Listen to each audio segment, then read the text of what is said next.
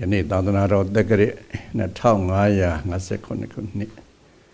မြန်မာဝါကောစာတက္ကရာ1385ခုနှစ်နတ်တော်လာဇန်14ရက်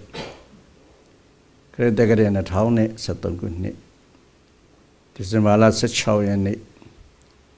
ညနေပိုင်း3နာရီချိန်ကစပြီး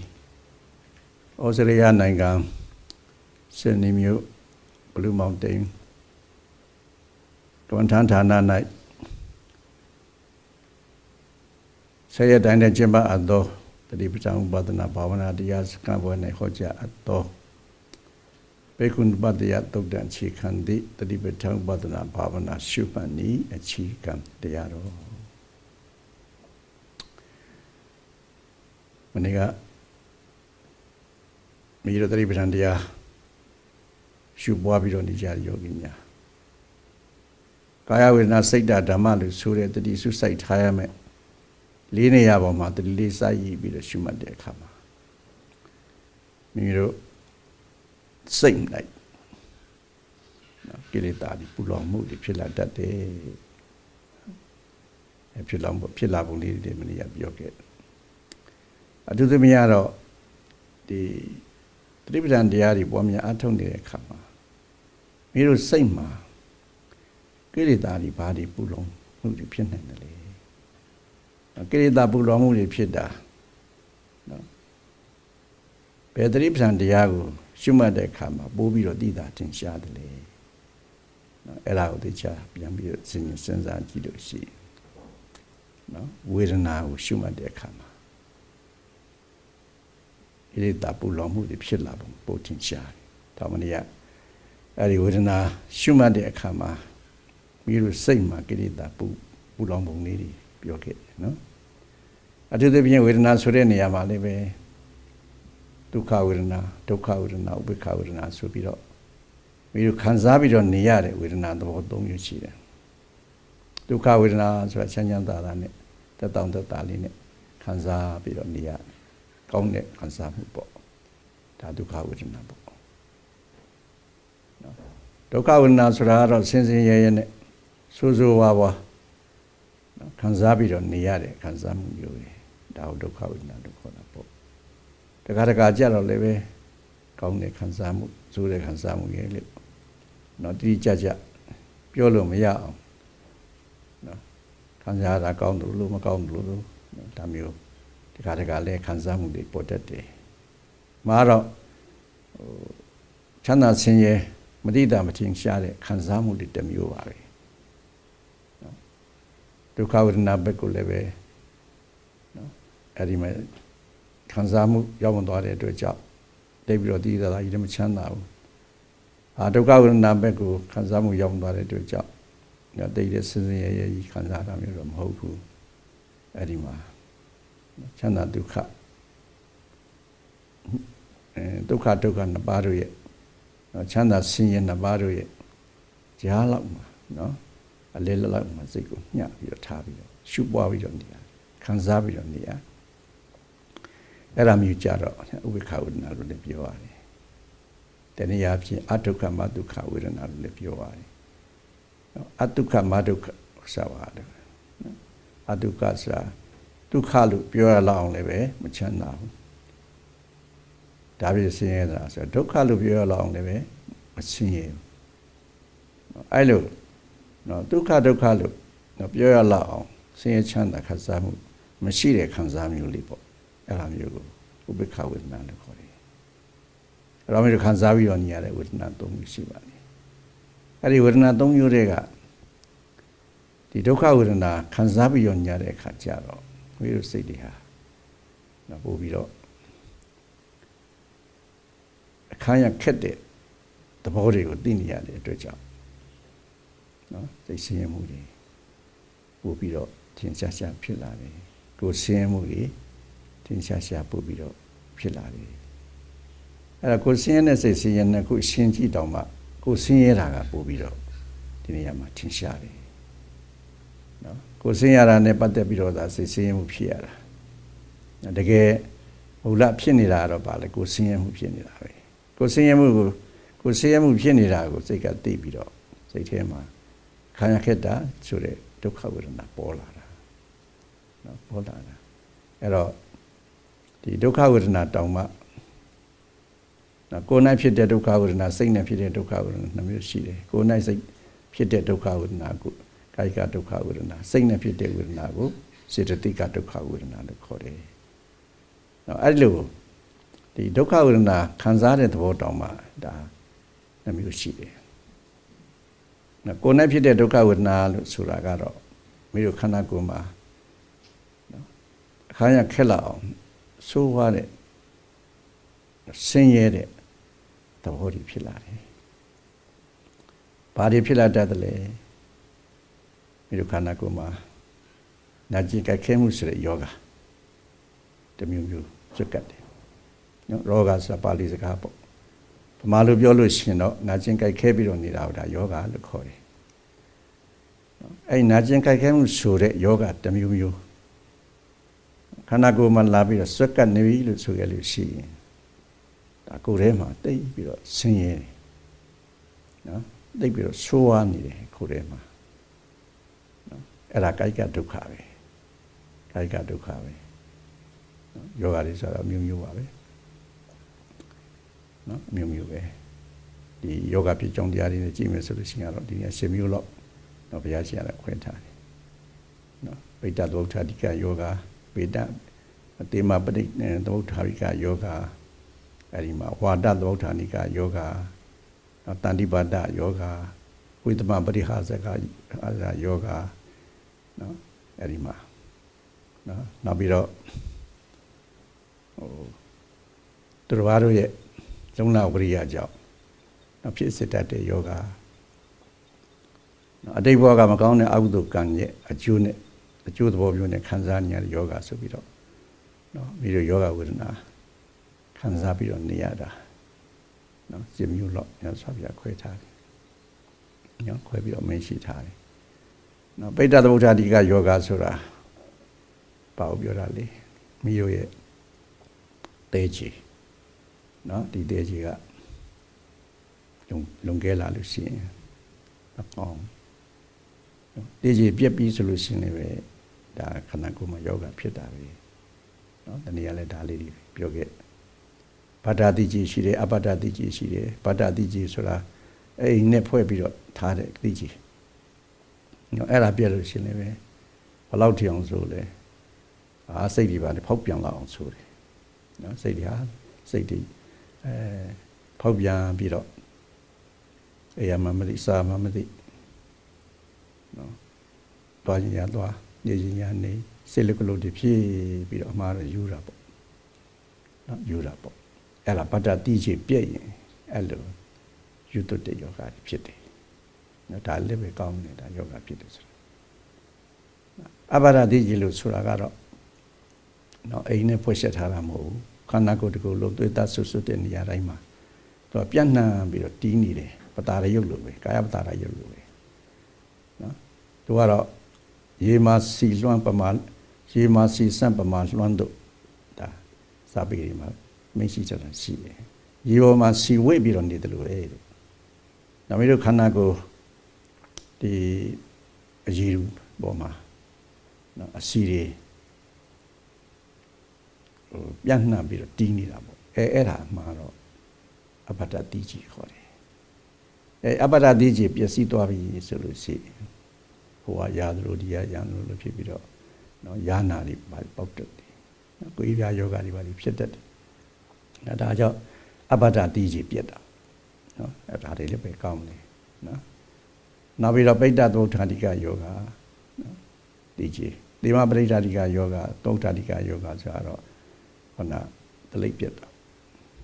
နော်တလိပ်တွေများခြင်းနဲ့များလာတလိပ်တွေနေခြင်းနဲ့နေသွားအဲ့ဒါလည်းမကောင်း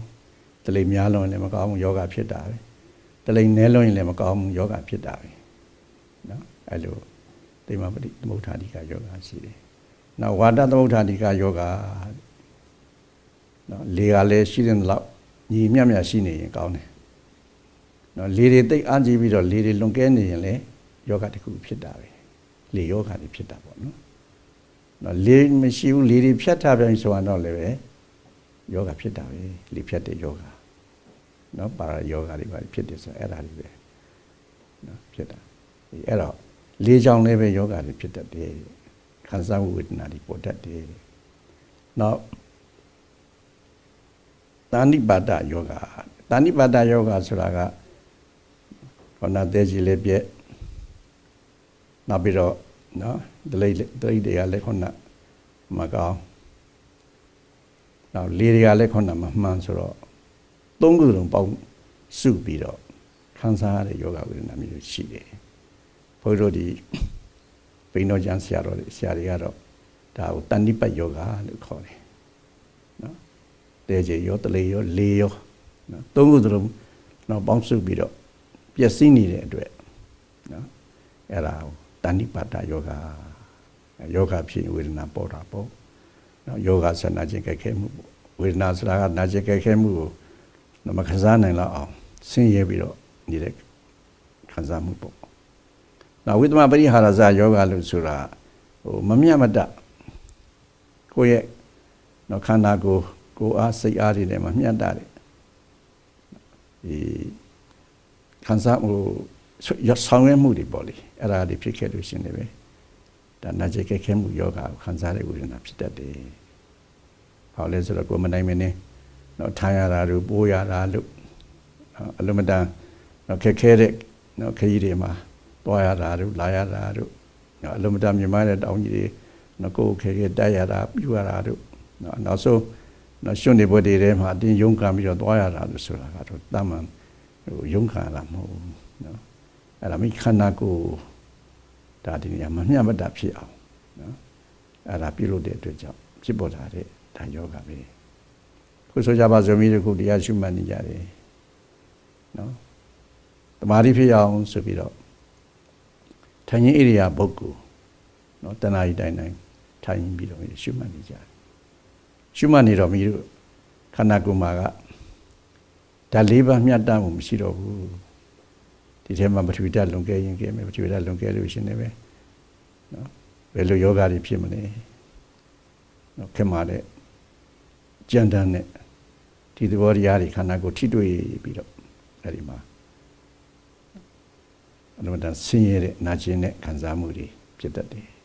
ပြီးတော့ဘယ်ချိန်မှတွေ့တတ်တုံဆိုရင်ဒီထိုင်ပြီးတော့တရားရှုမှတ်နေတဲ့အခါနော်ခန္ဓာကိုယ်ရဲ့ဒီလေးလံမှု ဒါသဘောတွေလွန်ကဲလာပြီဆိုလို့ရှိရင်မိမိခန္ဓာကိုယ်ကြီးအောက်ကိုဖိပြီးတော့ချထားတယ်လို့လေးလံတဲ့ဝန်တို့ဘိုးကြီးကိုနော်ထမ်းပြီးတော့ထားရတယ်လို့အဲဒီမှာအောက်ပိုင်း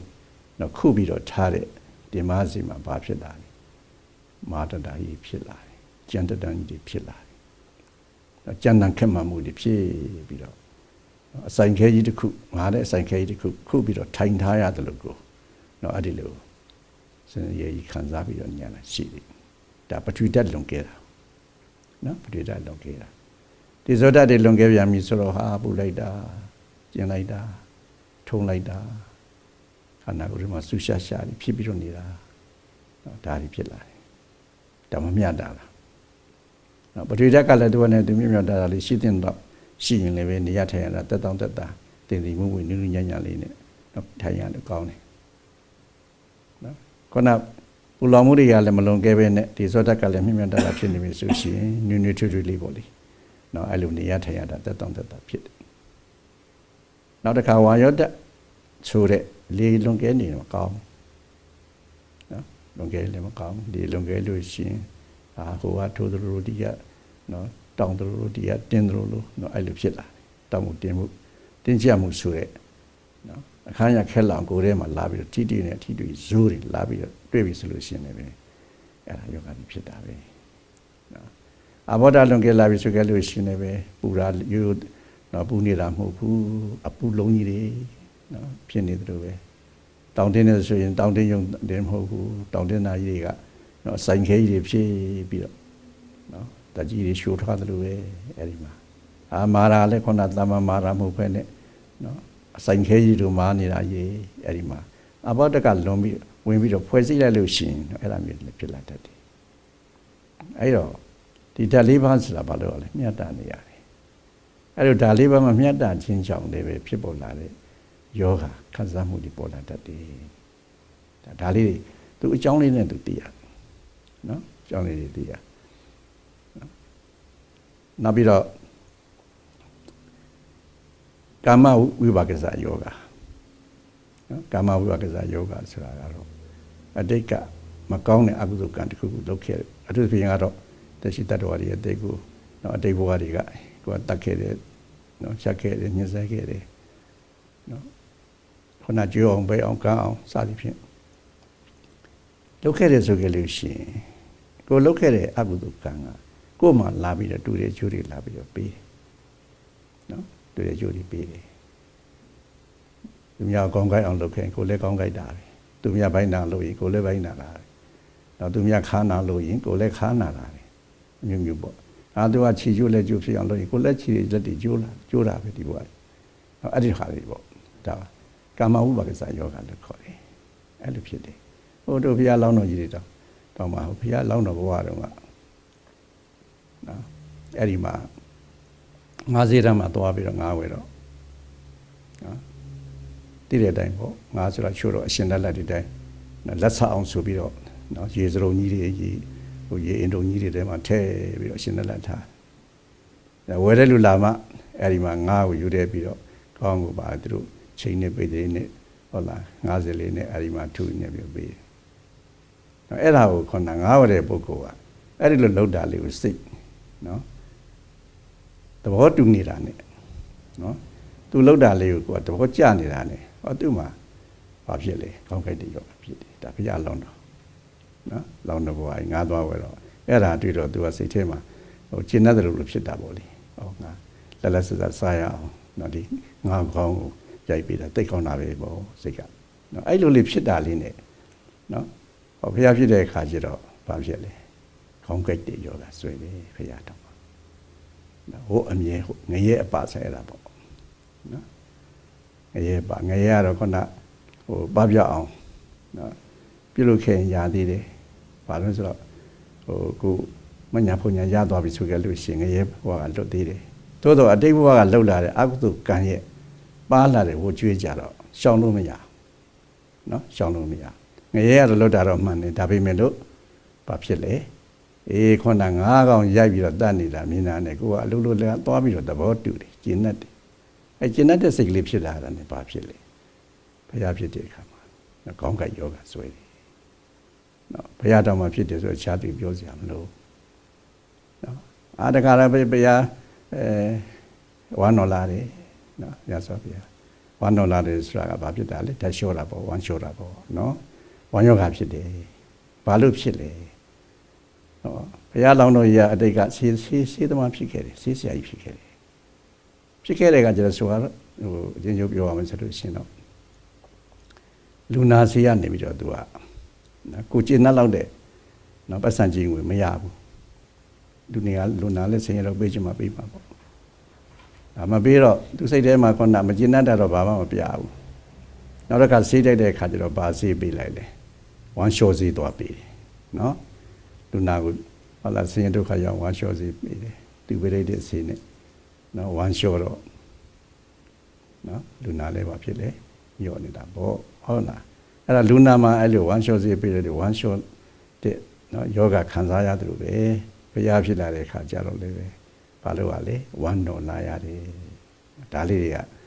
ဒီတူသောအကျိုးပေးတာဒါကာမဝိပါစကဝိပါကစားယောဂလို့ခေါ်တယ်နော်ဒါဘုရား နော်ခါနာပြီးတော့နေတာတွေလည်းရှိတာပဲနော်ခါနာဘုရားလည်းခါနာတာဘာကြောင့်သူခါနာတော့အတိတ်ဘဝတုန်းကသူကလက်ဝေသမားကြီးဖြစ်ခဲ့တာအခုကလည်းရှိတယ်မလားလက်ဝေသမားကြီးနော်နဗန္သမားကြီးနော်ဖြစ်ခဲ့စဉ်ခါတုန်းကသူနဲ့နော်လက်ဝေနော်ပြိုင်ပေါ်ပြိုင်ဘက်ဖြစ်တဲ့လက်ဝေသမားကိုနော်သူကလည်းအားကောင်းကောင်းနဲ့နော်အထက်ကိုမပြီးတော့မြောက်ပြီးတော့ခြိုက်တာခါကျိုးသွားတယ် ဟုတ်လားခါကျိုးသွားအဲခါကျိုးသွားတော့ဘုရားဖြစ်တဲ့အခါကျတော့အဲ့ဒီဟိုကပါလာတယ်ဘာဖြစ်လဲဘုရားခါနာရတယ်ဟုတ်လားအေးအဲ့ဒီယောဂတွေဟာနော်ကန့်ကြောင့်ဖြစ်ပေါ်လာတဲ့ယောဂတွေပဲအဲ့ဒါကိုကာမဝိပါကစယောဂလို့ခေါ်တယ်ကံအကျိုးကြောင့်ဖြစ်လာတဲ့ယောဂဒီအဲ့တော့မိတို့ရဲ့အစ္ဆဒတန်တာမှာ ဒီခန္ဓာကိုယ်မှာအခန်းရခက်လာအောင်နာကျင်ကြက်ခဲမှုဆိုတဲ့ယောဂါတွေဆွက်ကပ်လာပြီဆိုကြလို့ရှိနေပဲ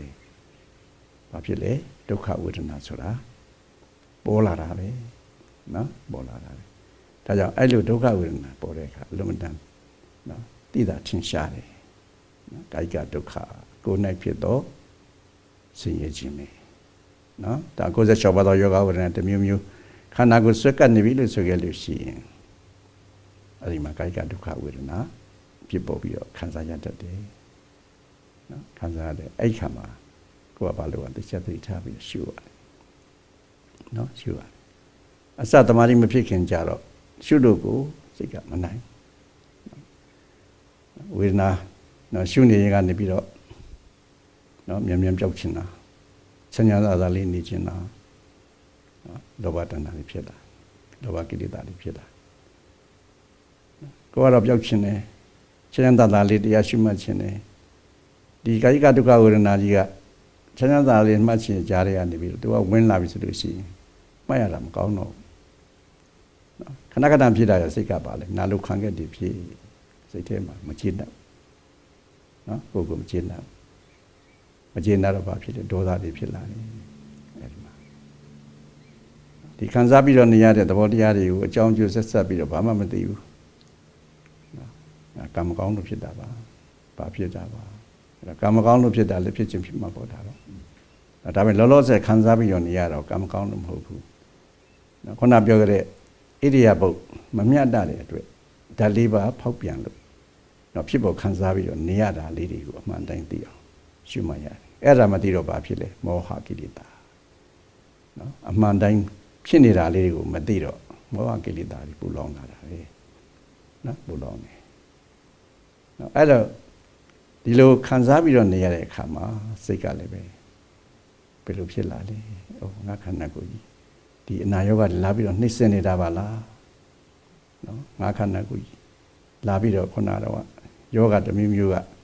နာအောင်ကြည့်အောင်ကြိုက်အောင်ခဲအောင်လာပြီးတော့လှုပ်နေတာပါလား။အဲစိတ်ကငါခန္ဓာကိုယ်ကြီးပဲလို့နော်ဆွဲလာတဲ့ဆိုကြတဲ့ကိုကတော့ထိတိကိလေသာတွေ။ဒီနေရာမှာ ဆွဲကပ်လာပြီပူလောင်လာပြီကိလေသာနဲ့ပူလောင်လာပြီငါကိုငါခန္ဓာဆိုရဆွဲနော်ဒါကြောင့်မနေ့ကဘုန်းကြီးပြောတယ်မလားဒီစီရီပါလေးနော်အထုခံရတဲ့အခါကြတော့ကိုကအင်းငါတော့ဆေးထိုးတော့မှာပဲဆိုကြတဲ့ကိုကဘာဖြစ်လဲအကင်နာနဲ့ကြက်သိမ့်ထားတယ်ဘာလို့ဆိုငါဆိုတဲ့ဒီကိုကိုအစွဲလေးတစ်ခုရှိလာပြီလို့ရှိရင်ငါခန္ဓာကိုယ်ကြီးတော့နာတော့မှာပဲနော်ဘာလို့လဲဆိုတော့ ဒီငါခန္ဓာကိုယ်တို့ပြောလိုက်တာနဲ့ပဲစိတ်ထဲမှာဆွဲလိုက်တာနဲ့ပဲခန္ဓာကိုယ်ပေါ်မှာနော်တွေ့တာတဲ့ตาရတဲ့နော်ဒီတဏှာဆွဲကဝင်ပြီးတော့ကတ်တော့တာနော်အခုချစ်ခင်ตาရပြီးတော့နေတဲ့ခန္ဓာကိုယ်ကိုတစ်ခုကလာပြီးတော့နှိမ့်ဆက်လို့ရှိရင်ကိုယ်ကမခံနိုင်တဲ့သဘောတရားရှိဆိုကြပါစို့မိတို့တွေနော်ဟိုသားသမီးတွေရှိကလေးတွေရှိတယ်သူများသားသမီးနဲ့ကိုသားသမီးနဲ့မတူဘူး နော်သူများသားသမီးတစ်ခုခုဖြစ်ဘာမှစိတ်ထဲမှာသိပြီးတော့ခံစားချက်မရှိဘူးတာမန်နေမျိုးနဲ့ဆိုလို့ရှိရင်ကိုသားသမီးသာတစ်ခုခုဒုက္ခရောက်ကြည့်နော်ကိုဘယ်လောက်ခံရခဲ့တယ်နော်ဘာကြောင့်လဲဆိုတော့ဒီသားသမီးပေါ်မှာငါသားသမီးပဲလို့ဆွဲလိုက်တာနေပဲဒီသားသမီးပေါ်မှာချစ်ခင်မြတ်နိုးတဲ့တဏှာကဝင်ပြီးတော့ကတ်တဲ့အခါကျတော့တဏှာဇွဲလေးဝင်လာတဲ့အခါကျတော့ဘာဖြစ်လဲငါသမီးကိုသားသမီးဆင်းရဲမှစိုးတယ် ဒုက္ခရောက်မှစိုးတယ်စသည်ဖြင့်တော့အဲ့လိုစိတ်တွေဝင်လာလို့လေအဲ့တော့ငါကိုငါခန္ဓာလို့တဏှာနဲ့ငါလို့ဆွဲတဲ့တော့ဒိဋ္ဌိဆိုဝင်လာလို့ငါကိုငါခန္ဓာလို့တော့တဏှာနဲ့ตายာလိုက်ပြီဆိုတာနဲ့ကိုယ်ခန္ဓာကိုတစ်ခုနဲ့လာပြီးတော့နော်စူးစူးဝါးဝါထိခိုက်လာမယ်ဆိုရလို့ရှိရင်အထိခိုက်မခံနိုင်တော့ဘူးဒီဒါကြောင့်အဲ့လိုဟိုစေရီပါဒီထိုးတဲ့အခါတတိထားနော်အဘုန်းကြီးကကိုတွေ့နေတဲ့ ဒါသိခံနိုင်အောင်ရှုမှတ်တဲ့သဘောကိုပြောတာတနည်းမနေ့ကတော့နော်အဲ့တော့ကိုစီထိုးတော့မယ်လို့လို့ရှိရင်ဆိုတော့ဒီညာတော့အပြင်တော့စီထိုးတာကတော့ဟိုတခါတခါမြင်ချင်းမှမြင်ရမို့လေနော်ဟိုတွေးတွေပါတွေဖောက်တဲ့အခါနော်တိထားပြီးတော့ကြည့်ကြည့်ပေါ့ဘုရားမျက်စိပွင့်ပြီးတော့ကြည့်နေတာပဲတွေးပေါက်တဲ့အခါအဲကြည့်တော့ဘာသိလဲ နော်အဲ့နဲ့အသားထဲမှာထိုးသွင်းပြီးတော့နေတာကိုသိတယ်ဟုတ်လားအဲ့နဲ့အသားတွေကိုထိုးသွင်းနေတာသိတယ်ဆိုတော့အဆိုတာလေဘာတယ်ခက်မှာကြမ်းတမ်းနဲ့ပထဝီဓာတ်ပဲနော်အသားဆိုတာလေနူးညံ့ပျော်ပြောင်းတဲ့ပထဝီဓာတ်ပဲနော်သိရဆိုတာလေပဲပါလေစိတ်ဆိုတဲ့အနန္တရားပဲ အဲ့တော့ပထဝီဓာတ်တစ်ခုကပထဝီဓာတ်တစ်ခုတည်းကိုနော်ထိုးသွင်းပြီးတော့နေတဲ့အခါမှာအော်ဒီလားထိုးသွင်းနေပြီးတော့နေတာပဲလို့သူကသိလေစိတ်ကသိတယ်ဒီထဲမှာစုကနေဖြစ်လို့ရှိရင်စုမှန်းသိမယ်ပူကနေဖြစ်လို့ရှိရင်ပူမှန်းသိမယ်အဲပူရာတွေစူးရာတွေကလည်းဒါဒါတိစောတတ်တယ်ပဲအဲ့တော့အဲ့ဒါလေးတွေကိုကိုကသတိထားပြီးတော့ရှုလို့ရှိရင်အဲခေါင်းကသွေးဖောက်နေတဲ့အချိန်မှာဘာဖြစ်လဲရုပ်သဘောနာသဘောတွေသိတော့ ဘယ်ခုနငါဆိုတဲ့အစွဲပဲရှိတော့မှာလေနော်အငါကိုလာပြီးအကြီးနဲ့ထိုးတယ်လို့နော်စိတ်ထဲမှာအဲ့တော့မထင်တော့ဘူးနော်မထင်တော့ဘူးဒါအဲ့ဒါလေးတွေကိုတရားရှိမှတ်တဲ့သတိထားတယ်ဆိုတော့အဲ့ဒါပဲသတိပဋ္ဌာန်ရဲ့ကြီးစုတွေနော်ဟိုမညာဘုံညာနိဗ္ဗာန်ရတာမရတာထားနော်မိတို့ရဲ့စိတ်အဲ့ဒီလိုနော်ရုပ်သောနာမ်တော်တွေကိုယ်ရဲ့ပြပြဖြစ်အောင်ရှုနိုင်လို့ရှိရင်ဘာဖြစ်လဲတတိထားတော့တရားရတယ်ဟုတ်ကလား တတိထားတော့ဘာရလဲတရားရတယ်ဘာတရားရလဲမညာဖုန်ညာနိဗ္ဗာန်ကိုရရှိနိုင်တဲ့အခြေခံတရားလေးတွေရလာပြီဒါကြောင့်အဲ့ဒါလေးတွေလက်တွေ့မိတို့တွေလက်တွေ့လေးတွေရှုပွားကြည့်ဟုတ်ကလားရှုပွားကြည့်အဲ့လိုမှမဟုတ်ဘူးဆိုကြလို့ရှိရင်ဘာဖြစ်လာလဲအဲငါဆိုတဲ့ဒိဋ္ဌိအစွဲဝင်လာတာ ਨੇ နော်အဲ့ဒီဒိဋ္ဌိစွဲဝင်တဲ့ငါးကောင်းပေါ်မှာတာတာရရဆွဲလာတဲ့တဏှာဝင်နေအဲ့ကြလို့ရှင်တခု တော့ဖြစ်လာရင်ကိုယ်ကမခံစားနိုင်တော့နော်မခံစားနိုင်တော့အေးဒါကြောင့်အဲ့ဒိဋ္ဌိကိလေသာတွေပဲတခါတခါဝင်တတ်တယ်နော်ဒိဋ္ဌိကိလေသာရဲ့ပူတော်မှုလည်းခံစားရတတ်တယ်နောက်ပြီးတော့ဝိသိကိစ္စနော်ယုံမတန်တဲ့ဖြစ်တယ်ဒီယောဂဝေဒနာကြီးဖြစ်အတရားရှိမှရင်ခံလိုက်ရတာခါတယ်နားလိုက်တာဒီယောဂပြောင်းမပြောက်ပါမလားငါတရားအထုတ်ပြီးလို့ရှိရင်ဒီနာကျင်တန်ကြိုက်တာခဲတာကြီးနဲ့ပဲ နော်ယောဂတခုများဖြစ်နေမလားစိုးရင်စရာတွေပူဆွေးစရာတွေဖြစ်လာတာပဲအဲ့ဒီမှာနော်ဘောင်းစောကိုအထုတ်နေတဲ့သတိပ္ပံတရားပေါ်မှာဘာဖြစ်လဲယုံမတန်တယ်ဖြစ်နေတာနော်ယုံမတန်တရားဖြစ်တော့အထုတ်ရပြီမဲ့လို့စိတ်ထဲမှာယုံယုံကြည်ကြည်နဲ့အထုတ်ရတာမဟုတ်တဲ့အတွက်ကြောင့်စိတ်ကလည်းတက်ကြွမှုတွေမရှိတော့အဲ့ဒီမှာနော်တက်ကြွမှုမရှိတော့ပါလေစိတ်တက်တွေကြာပြီလား ရသော်ဘုရားကအမကန်ကြေကောင်းကောင်းပေးထားတယ်ဒုက္ခဒေါမနတနာအထင်ကမှရနော်ဒီမိတို့ကိုယ်ဆင်းရဲတွေခြုံငိမ့်သွားဖို့စိတ်ဆင်းရဲတွေခြုံငိမ့်သွားဖို့မိတို့တွေအထုတ်ရမယ်တရားနိလန်းကတခုတည်းပဲရှိတယ်။ဘာလဲတတိပဋ္ဌာန်တရားနိလန်းပဲ။ဒါမျိုးဆိုပြမိတ်ရှိထားတယ်။နော်ကိုယ်ဆင်းရဲစိတ်ဆင်းရဲခြုံငိမ့်အောင် အထုတ်ရမယ်တရားသည်တတိပဋ္ဌာန်တရားပဲဆိုတော့ခုပြီးတို့တွေတတိပဋ္ဌာန်တရားအထုတ်နေခြင်းသည်ကိုယ်ဆင်းရဲစိတ်ဆင်းရဲကိုဧကံခြုံငင်းစေနိုင်တယ်လို့နော်ယုံကြည်တဲ့တရားတရားနဲ့အထုတ်ပြီးတော့နေပြီဆိုလို့ရှိရင်ဘာမှဒီတရားပေါ်မှာယုံမတန်တရားဖြစ်စီရမရှိဘူးဒီသတိပဋ္ဌာန်တရားကိုသာစနစ်တကျအာပွားများအထုတ်လာမယ်ဆိုလို့ရှိရင်ကိုယ်ဆင်းရဲတွေလည်းပပျောက်သွားနိုင်တယ်စိတ်ဆင်းရဲတွေပပျောက်သွားနိုင်တယ်ကိုယ်ဆင်းရဲတွေချုပ်ငြိမ်းသွားနိုင်တယ် စိတ်ဆင်းရဲတွေချုပ်ငြိမ်းသွားနိုင်တယ်လို့နော်အမှန်တိုင်းသိတဲ့အသိဉာဏ်လေးတွေရသွားပြီလို့ဆိုခဲ့လို့ရှိရင်နော်ဒီတရားပေါ်မှာယုံမတန်တရားဖြစ်เสียမရှိဘူးယုံမတန်ကင်းသွားလိမ့်မယ်ဒါကြောင့်အဲ့လိုတရားပေါ်မှာယုံမတန်တရားမရှိခဲ့လို့ရှိနေပဲယုံမတန်တရားမကင်းလို့ရှိနေပေါ့လေယုံမတန်တရားကြီးဖြစ်နေလို့ရှိနေပဲတော့မိစိတ်တွေဟာတော့ပူလောင်ပြီးတော့နေတတ်တယ်ဒါကနော်ဒီ တတိပဒံတရားတစ်ခုကိုရှုပွားပြီးတော့နေတဲ့အခါမှာနော်ခေါဏကာယတုံပရိလာဟောလို့ဒီဘေကုဏုပတရားတုံမှာမြတ်စွာဘုရားဟောတော်မူထားတဲ့အတိုင်းမိတို့နော်ကိုမှာနော်ကိလေသာ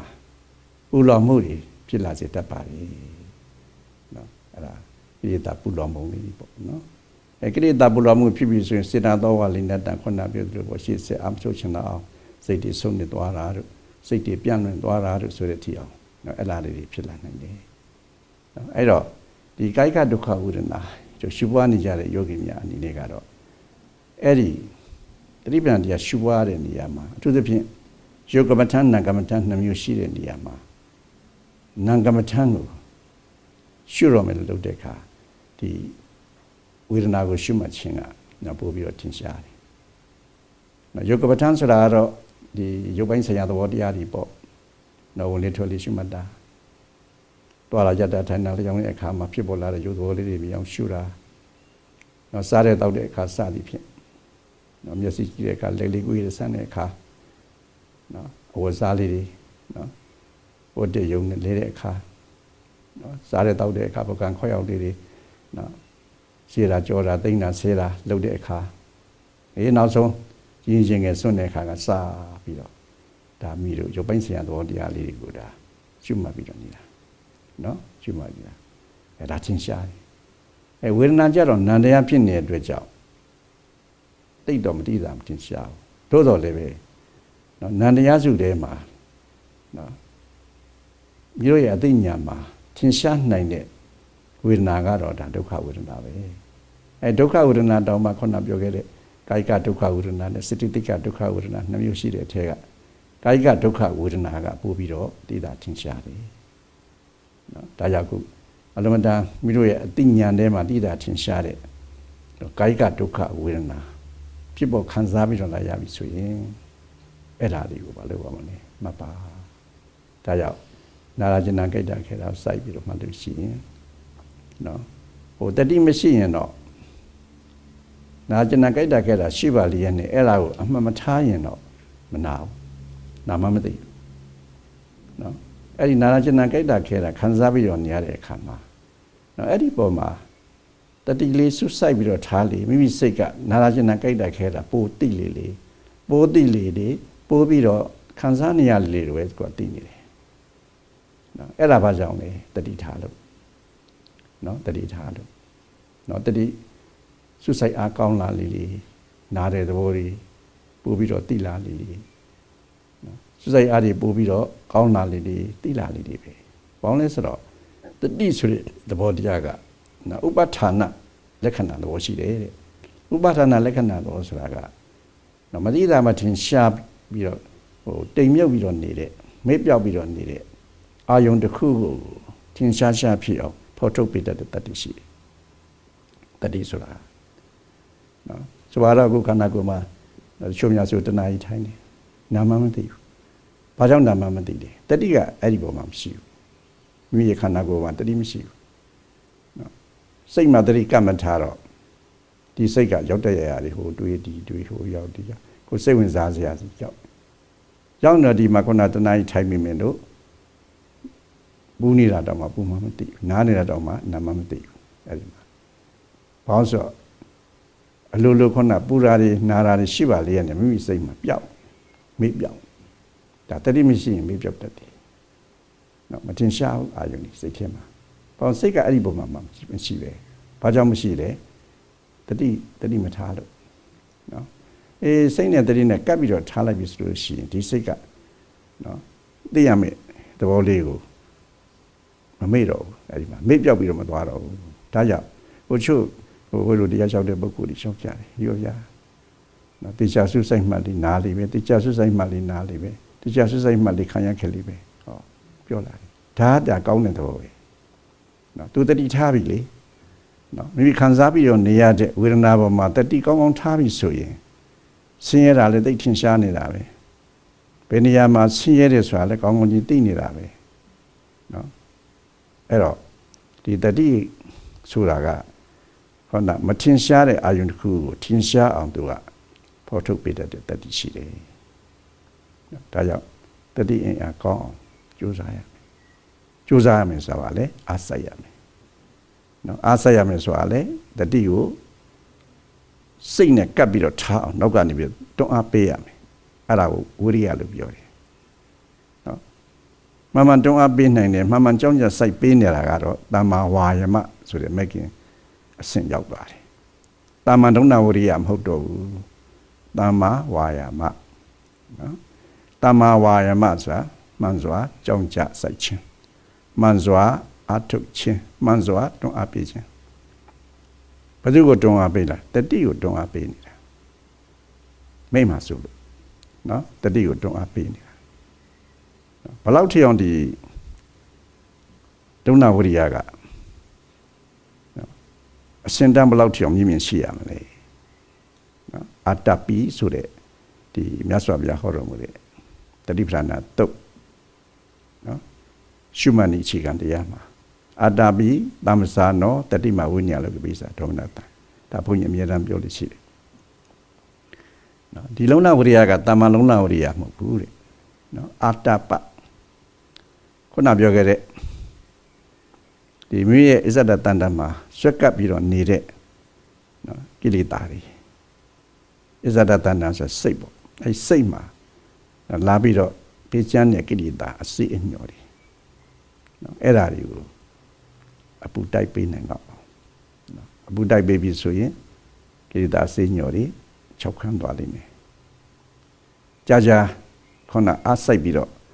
နော်ဝိရိယနဲ့အပူတိုက်ပေးပြီဆိုလို့ရှိရင်ခန်းချောက်ရနေပြီး6သွေးသွားမယ်6သွေးရနေပြီးတော့ပူလောင်လာမယ်ပူလောင်နေပြီးလောင်ကျွမ်းသွားမယ်လောင်ကျွမ်းသွားနေပြီးတော့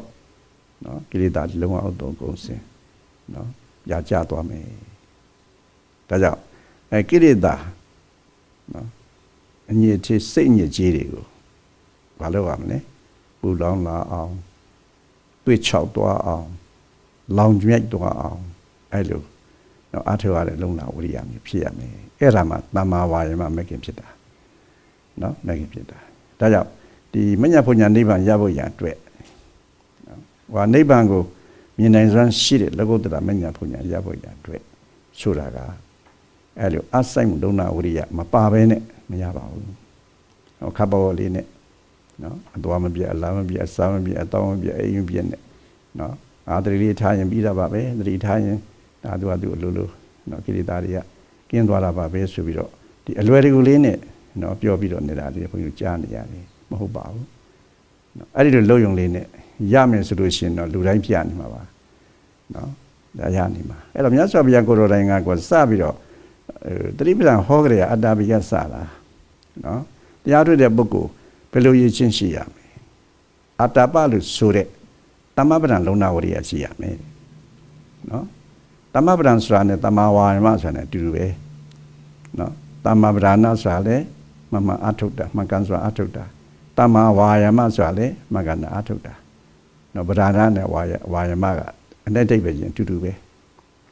နော်တရိယာမတမ္မပဒံလို့ခေါ်တယ်တရိယာမတမ္မာဝါယမလို့ခေါ်တယ်ဒါအတူတူပဲအတိတ်ပဲချင်းကတော့အဲ့တော့ဒီတမ္မပဒံလုံလဝရိယဖြစ်ရမယ်လို့ဆိုတဲ့အတွက်ကြောင့်တမ္မပဒံလုံလဝရိယဖြစ်အောင် ခုနကိရိတာအပူဓာတ်တွေငိမ့်တဲ့ငိမ့်သွားအောင်ဒီကလုံလဝရိယအပူနဲ့ပြန်ပြီးတော့ရှုမြက်ပြစ်ကိရိတာစေးဖွဲတွေပူလောင်လာအောင်ခန်းချောက်သွားအောင်လောင်မြိုက်သွားအောင်အဲဒီမှာနော်အစိမ့်လုံလဝရိယတွေနဲ့အပူတိုက်ပြီးတော့ပေးပြီးဆိုလို့ရှိရင်အားတဖြည်းကိရိတာတွေကင်းငိမ့်တဲ့နော်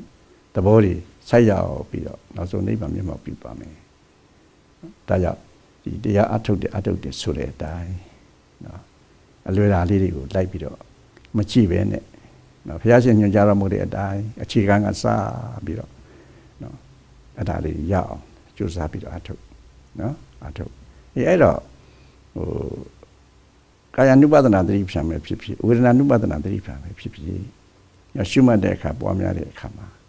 အဲကာယ ानु ပဒနာဆိုခဲ့လို့ရှိရင်ဘာကိုစပြီးတော့ရှုမှတ်ရမလဲနော် ညွှန်ကြားပြီးသားတောင်ဘုရားရှင်ကဒီကာယ ानु ပဒနာတတိပ္ပံမှာဘာကိုအစာဆုံးညွှန်လဲဟောနာဝင်လေထွက်လေပဲအစာဆုံးညွှန်တာပဲဝင်လေထွက်လေဆိုတာကတရှိတတ္တဝါတိုင်းကင်းမှမကင်းစကောင်းတာပဲနော်ကင်းမှမကင်းစကောင်းတာပဲဒီလေကခုနကတော့ပြောသလိုနော်ဝါရတက်ဆိုတဲ့လေတက်ကတတ္တဝါရဲ့အပေါ်မှာအများကြီးတို့ကဆောင်ရွက်နေတာပဲ နော်လေရှိလို့မင်းတို့တွေထိုင်နိုင်တယ်ထနိုင်တယ်တွားနိုင်တယ်နော်ရနိုင်တယ်နော်ခြေလက်တွေလှုပ်ရှားနိုင်တယ်အဲ့ဒီမှာနော်နောက်ဆုံးပါဇက်ကစပြီးတော့ပြောနိုင်တယ်ဆိုနိုင်တယ်ဒါတွေကဒီဝါရတရဲ့ဆောင်ရွက်ချက်တွေပဲနော်ဆောင်ရွက်ချက်တွေပဲနောက်ကလေးနောက်ဆုံးလက်ကလေးကွေးတာဆန္ဒအစမျက်တောင်လေးခုနနော်ဖွင့်နာပိန်းနာလှုပ်ပြီးတော့မျက်တောင်ခတ်တာအစဒါမီးတို့တွေကဒါ လေရဲ့ရွတ်ဆောင်မှုနဲ့လုပ်နေကြတာနော်လုပ်နေကြတာစားတဲ့တောက်တဲ့ခါမှာပဲထွတ်တူပဲနော်တချို့လေဖြတ်ထားတဲ့ပုဂ္ဂိုလ်ပါဇက်ထဲမှာဟုတ်လားတောက်ချင်မှရေတောက်ချင်မှဒီတောက်လို့ရမှာမရဘူးသူ့မှာလေရဲ့စုပ်အားမှမရှိတာမရှိတော့ခုနရေခွက်ထဲအကြီးကိုယ်ပါဇက်ထဲရောက်ဖို့ရဘယ်လို့မှသူကိုယ်တိုင်မတတ်နိုင်ဘူးဘာကြောင့်သူ့မှာလေမရှိဘူးစုပ်အားမရှိဘူး နော်မရှိဘူးနော်အာရကနာအာဂရနဲ့ရောက်လာတဲ့မျိုးရအားမရှိဘူးဘာလို့ဆိုလေမှသူ့မှာမရှိဘဲနဲ့ပဲနော်အဲ့တော့စားတဲ့ခါမှာဖြစ်ဖြစ်တောက်တဲ့ခါမှာပဲဖြစ်ဖြစ်ဒါလေရဲ့ဆောင်ရွက်မှုတွေကအများကြီးရှိတယ်။ဒါမြတ်စွာဘုရားကဒီမျက်စိကြည့်တာရှုတာလက်ကလေးကွေးတာဆန့်တာအကုန်လုံးသတိထားဆိုတာ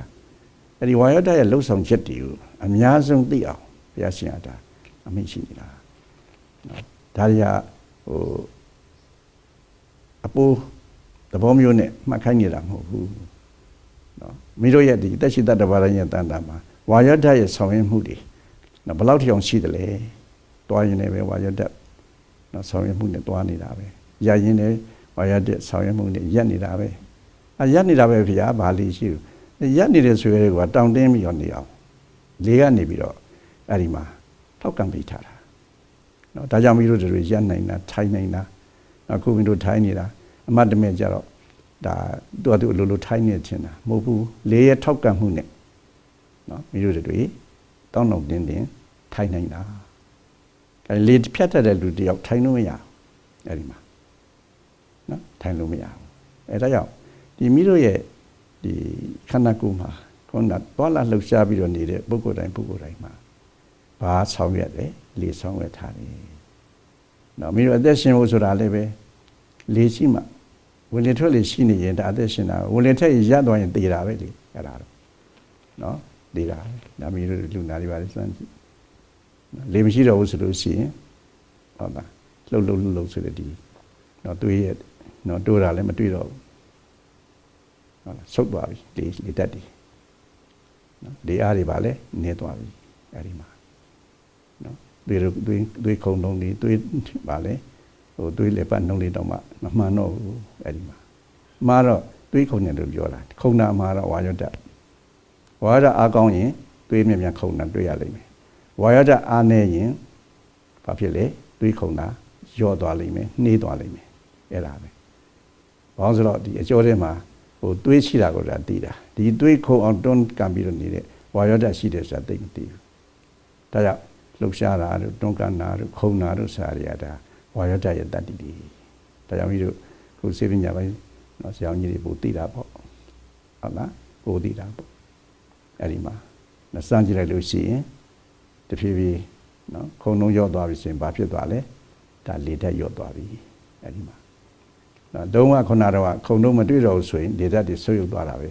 လေဓာတ်ဆွေးရုပ်သွားတာနောက်ဆုံးလုံးဝမခုံတော့ဆိုတာ ਨੇ ဝိညာဉ်ချုပ်သွားတာပဲ ဒါပဲဒီအဲ့တော့မိတို့ရဲ့ခန္ဓာကိုယ်မှာဝါယောဓာတ်ကအထင်ရှားဆုံးဆိုတော့မြတ်စွာဘုရားကကာယ ानु ပဒနာတတိပဋ္ဌာန်ရှုပွားခိုင်းတဲ့အခါမှာဘာကိုစရှုပွားခိုင်းလဲ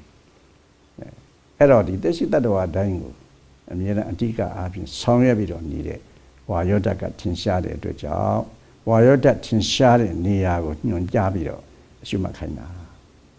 နော်ဒါပြင်အဲ့ဒီဝါယောဓာတ်ကမိတို့တွေအတွက်နော်ခုနအသက်ကိုနော် စောက်စောက်နိုင်တဲ့နော်ဝါယောဓာတ်ဒီပြုလေဝလီထွက်လိပဲနော်ဝလီထွက်လိပဲအသက်ရှုမရှိဘဲနဲ့အောင်းထားကြတော့ဘာဖြစ်လာလဲနော်အသက်ရှူရသွားမှာပဲဟုတ်လားရသွားမှာအဲ့တော့ဒီမိမိအသက်ကလေးရှင်းတန်းနေအောင်ဝါရတရဲ့ရှူမှုဆိုင်မှုဆိုင်ရှိရတယ်ဒါကြောင့်မို့လို့အသက်ရှူတယ်အသက်ဆိုင်တယ်ပြောတယ်လေလို့မပြောဘူး နော်ဘယ်လိုပြောလဲအသက်ရှူတယ်လို့ပြောတယ်အသက်ရှိုက်တယ်လို့ပြောတယ်ဟုတ်ကဲ့လားဘာလို့လဲဆိုတော့ရှင်သန်မှုကိုဘာလို့ခေါ်လဲအသက်ခေါ်တာအသက်အသက်ဆိုတာဘာလဲရှင်သန်မှုဟုတ်ကဲ့လားရှင်သန်နေမှုလေးကိုအသက်နော်ဒါရင်ဘယ်လိုနည်းနဲ့ရှင်သန်တာလဲဝင်လေထွက်လေတွေရှူရှိုက်နေလို့ရှင်သန်နေတာဟုတ်ကဲ့လားဒါကြောင့်ဝင်လေထွက်လေဒီအသက်ကိုရှင်သန်စေတတ်တဲ့နော်ဒါသဘောဖြစ်တဲ့အတွက်ကြောင့်သူ့ကိုပဲအသက်လို့တင်စားပြီးတော့ခေါ်ရတယ် နော်အသက်ရှူတယ်အသက်ရှိုက်ထုတ်တယ်အဲ့တော့မိတို့အသက်လို့ဆိုတဲ့နော်လေရှူသွင်းတော့ဘယ်ရသွင်းတယ်မျက်စိဘောက်ကလည်းသွင်းတာမဟုတ်ဘူးနားဘောက်ကလည်းသွင်းတာမဟုတ်ဘူးပါးစပ်ဘောက်ကလည်းသွင်းတာမဟုတ်ဘူးဘယ်ရသွင်းလဲနှာခေါင်းဘောက်ကဟုတ်ကဲ့မလားပြီးတော့ခေါင်းမှာဟိုဒွာရကုတ်ဘောက်ရှိတယ်လေအပေါက်ကိုးဘောက်ရှိအဲခုနှစ်ဘောက်ရှိဟုတ်ကဲ့လားဒွာရကုတ်ဘောက်ထဲမှာခေါင်းမှာနေကိုဘယ်နှဘောက်ရှိလဲခုနှစ်ဘောက်ရှိတယ်နော်အဲ့ဒီခုနှစ်ဘောက်ထဲမှာ ဒီခုနတူအသက်ရှူတဲ့စိတ်တွေဆိုတဲ့နော်အဲ့ဒီလေရဲ့ဝေမှုထွက်မှုဟာဘယ်မှာသင်ရှားလဲနှာခေါင်းဝမှာသင်ရှားဟုတ်ကဲ့လားရှူသွင်းလိုက်တယ်နော်ရှူသွင်းလိုက်တော့ဘာဖြစ်လဲလေဝင်လာတယ်နှာခေါင်းဘက်ကနေဝင်သွားတယ်အဲ့ဒီကနေချက်ချင်းထွက်သွားလားမထွက်ဘူးသူရဲ့လေသွားလားလို့ရှော့ဟိုချက်တန်ချီကဝမ်းပိုက်ထီအောင်သွားတယ်သူ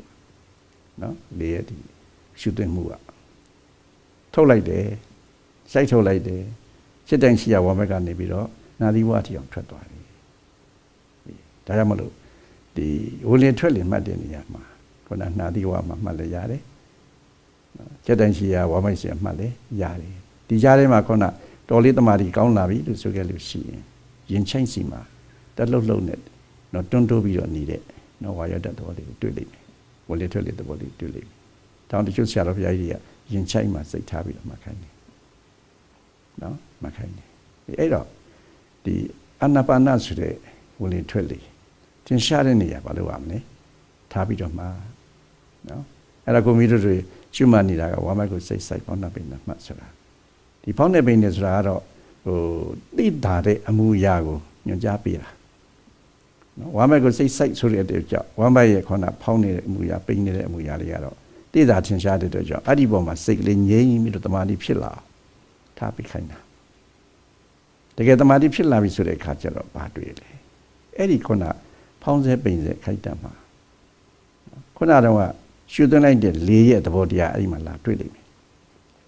နော်တွန်ကန်နာတို့တလုံးလုံးနဲ့လှုပ်ရှားနေတာတို့နော်တောင့်တင်းနေတာတို့စာရီကဒါအဲ့ဒီမှာဟိုဝါရော့တက်ရဲ့တဘာဝနော်တဘာဝစာမိမိသဘောတိုင်းဆောင်ရွက်နေတာ နော်ပထဝီဓာတ်ကလည်းပထဝီဓာတ်သဘောတိုင်းခင်မရမယ်ကြမ်းတမ်းရမယ်နုညံ့ရမယ်ပျော်ရွှင်ရမယ်ဒါပထဝီဓာတ်ရဲ့သဘောသူကသူဆောင်းနေတာနော်အာဘောဓကလည်းပဲဖွဲ့စည်းရမယ်ယူစည်းရမယ်စိတ်ကရမယ်အဲဒါမျိုးတွေပေါ့နော်အဲဒါလေးတွေကအဘောဓရဲ့သူရဲ့ဒါသဘောတိုင်းဆောင်ရွက်နေတာဒါတဘာဝလို့ခေါ်တယ်နော်သူသဘောတိုင်းသူဖြစ်ပြီးတော့နေတာနော်ဝါယောဓကလည်းပဲမလုပ်နဲ့တွန်းကန်ရမယ်လှုပ်ရှားရမယ်ရွေရှားရမယ်ဆွဲဆောင်ရမယ်ဒါဝါယောဓရဲ့ သူရဲ့သဘာဝပဲတိဇောဓကြလည်းပူရမယ်အေးရမယ်နှွေးရမယ်ဆိုတဲ့သဘောတရားဒီပေါ့အေးအဲ့ဒါကိုသူကတဘာဝယုတ်လို့ခေါ်တယ်နော်သွားယုတ်လို့ခေါ်တယ်ဒါကြောင့်အဲ့ဒီမျိုးဖောင်းနာပိန်နာမှတ်ပြီးတော့နေတယ်ဆိုတာအဲ့ဒီမူလဇင်းမြစ်တကယ်အမှန်ရှိပြီးတော့နေတဲ့အဲ့ဒီတဘာဝယုတ်တွေကိုထိုးတွင်းပြီးတော့သိအောင်အသိဉာဏ်နဲ့ထိုးတွင်းပြီးတော့သိအောင်အဲ့ဒီနေရာလေးမှာပါလဲစိုက်ပြီးတော့ဒီခိုင်းတာနော် ဘာနဲ့တူလဲဆိုလို့ရှိရင်မိတို့ဟိုဒီမှာတော့ချင်းသိမ့်မရှိဘူးနော်တချို့ချင်းရှိတဲ့နေရာတွေဖို့တို့ဟုတ်လားဒီဗမာနိုင်ငံတော့ချင်းပေါ်တယ်လေခွေတော့ကောင်းအောင်သိတယ်ဟုတ်လားကန်ချင်းရဲ့နှုတ်သီးလေးတွေကဗာလဲတိတ်ပြီးတော့ဟုတ်လားမာတာမဟုတ်ဘူးနော်ဝိညာဉ်လေးတွေလိုပဲဒါပေမဲ့လို့အဲ့ဒီချင်းရဲ့နှုတ်သီးလေးတွေဘလောက်ဖယ်နုညံ့တော်လဲပဲပြီးတော့ခန္ဓာကိုယ်ထဲမှာရှိနေတဲ့နော်သွေးထီအောင် မဆူဆိုင်နိုင်ဘူးလားဆူဆိုင်နိုင်တယ်ဟုတ်ကလားနော်ဆူဆိုင်နိုင်တယ်အချင်းရဲ့နှုတ်သီးလေးတွေအလွန်မတမင်သိငယ်တော်လေပဲနော်မိတို့ခန္ဓာကိုယ်ထဲမှာရှိနေတဲ့သွေးဓာတ်တတ်တတ်တွေကိုထိုးဖောက်ပြီးတော့စုပ်ပြီးတော့ယူနိုင်တယ်လို့ပဲနော်မိတို့ရဲ့အသိဉာဏ်ကလည်းခုနဟိုစိတ်ကတမာတိဖြစ်လို့နော်တိတ်ပြီးတော့တင်းငိမ့်နေပြီဆိုလို့ရှိရင်ကိုရှုမှတ်ရမယ်ကမ္မထအာယုတစ်ခုပေါ်မှာ ဟောနာဖောင်းနေဖောင်းနေကမ္မထအာယုပိနေပိနေကမ္မထအာယုအာတော့နာပြီးရမှတ်မယ်ဆိုလို့ရှိရင်ခုနတော့ရှုတဲ့စိုက်တဲ့နော်ဝါယောတထိတွေ့မှုအာယုနော်အဲ့ဒီပုံမှာခေါဏကကစိတ်ကလေးကိုစူးစိုက်ပြီးတော့ထားပြီဆိုလို့ရှိရင်နော်ဟိုချင်းချင်းရဲ့နှုတ်သီးလေးကခေါင်းအသားထဲမှာစူးစိုက်ပြီးတော့ဟိုအတွင်းထဲမှာရှိနေတွေ့တဲ့တတ်တာကိုစုပ်ယူနိုင်တယ်လို့တကယ်အမှန်ရှိနေတဲ့ခေါင်းတောင်းတဲ့သဘောတင်းတဲ့သဘောလှုပ်ရှားတဲ့သဘော ရော့တဲ့သဘောဆွဲဆောင်တဲ့သဘောဆိုတဲ့ဟောအဲ့ဒီသဘောတရားတွေကိုထိုးထိုးထွန်းထွန်းနဲ့အဲ့ဒါသိတဲ့အသိဉာဏ်ကြီးရလာနိုင်တယ်နော်ဒါကြောင့်ဒီမြတ်စွာဘုရားပထမဆုံးနော်ကာယကဒုက္ခဝေဒနာနော်မရှုမှတ်ခင်ပေါ့ဝေဒနာဆိုတာနန္တရားမဟုတ်လို့ဘာလို့ရှုမှတ်ခိုင်းတာလဲကာယ ानु ဘဒနာတတိထံတတိပဋ္ဌာန်ဒီနဲ့ရုပ်ပိုင်းဆိုင်ရာသောတရားတွေကိုအဲ့လိုထိုးထိုးတွင်းတွင်းစွစွဆက်ဆက်နော်သိတဲ့အသိဉာဏ်မျိုး ရပြီးတော့လာအောင်ဒါအခြေခံအဲ့လောက်ထားပြီးမှတ်တာနော်ဒါကြောင့်ဒီဘုရားရှင်ပြတော်မူတဲ့အတိုင်းပေါ့နော်ကာယ ानु ဘဒနာတတိပဋ္ဌာန်ဒီအထင်ရှားဆုံးဖြစ်တဲ့အတွက်ကြောင့်အဲရုပ်ပိုင်းဆိုင်ရာသဘောတရားတွေကိုရှင်းဥစွာသိအောင်ဒါအထူးပဲကြောင့်ညာစိုက်ပြီးတော့တတိလေးစူးစိုက်စိုက်ထားပြီးတော့အဲဒါစိတ်ကိုတည်ငြိမ်ငြိမ်ဖြစ်အောင်ကြိုးစားပွားများအထုပ်ဖို့လိုပါတယ် နော်ဒါကြောင့်တတိပဋ္ဌာန်ဝိပဿနာဘာဝနာရှုမှန်နေခြေခံတရားတွေကိုဟောကြားရခြင်းသောဓမ္မဒေသနာကုသကံစေရနာထိုတရားတော်ကိုနာကြားရခြင်းသောဓမ္မတော်နာကုသကံစေရနာလူရန်ရတဲ့ဒါနာကုသိုလ်ကံစေရနာဆောက်တရတဲ့သီလကုသိုလ်ကံစေရနာပွားများရတဲ့ဘာဝနာကုသိုလ်ကံစေရနာဖြာဖြာတို့ကြောင့်မိမိတို့တတွေသည်ပဋိသန္ဓေမနေခြင်းပဲနဲ့နေကြရတဲ့တန်တာရာဒုက္ခ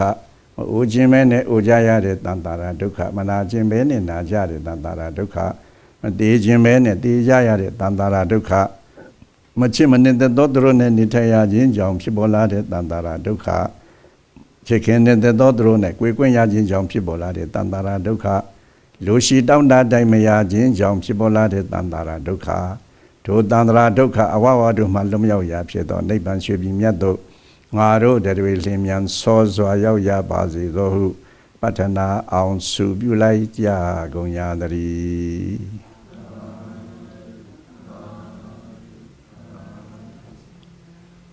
ဤသို့ပြုရဤသို့ပြုရမြတ်ပုံညကြောင့်ချမ်းမြအေးကြည်ဘေးမဲ့မြည်သည်ရွှေပြည်ထုံချောက်လမ်းမကောက်ပေရောက်ရပါလို့ထိုးထိုးဘဝကျင်လေရလေဒုက္ခဗေဒံယမ္မာပေါင်းမကောင်းဟုသည်မြမတွေ့ရပဲ တဗ္ဗအိဆာမင်္ဂလာကိုရွယ်ကတာရိုင်းရစေသော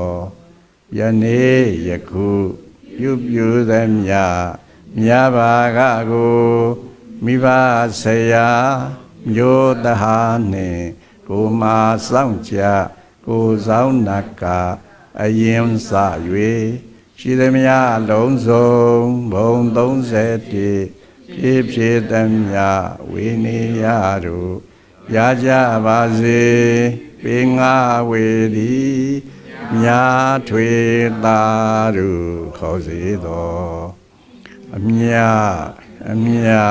အမြပြုတော်မူကြပါကုန်တော်သာဓုသာဓုသာဓုအမြအမြအမြ ပြုတော်မူကြပါကုန်တော်သာဓုသာဓုသာဓုအမြအမြအမြပြုတော်မူကြပါကုန်လောသာဓုသာဓုသာဓု